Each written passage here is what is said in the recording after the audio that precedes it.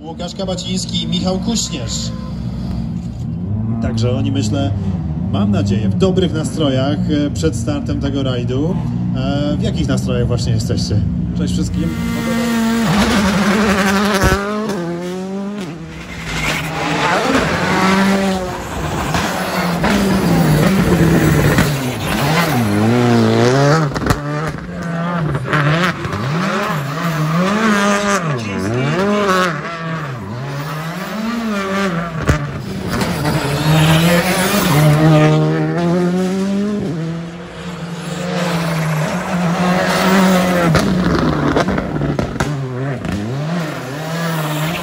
Uh...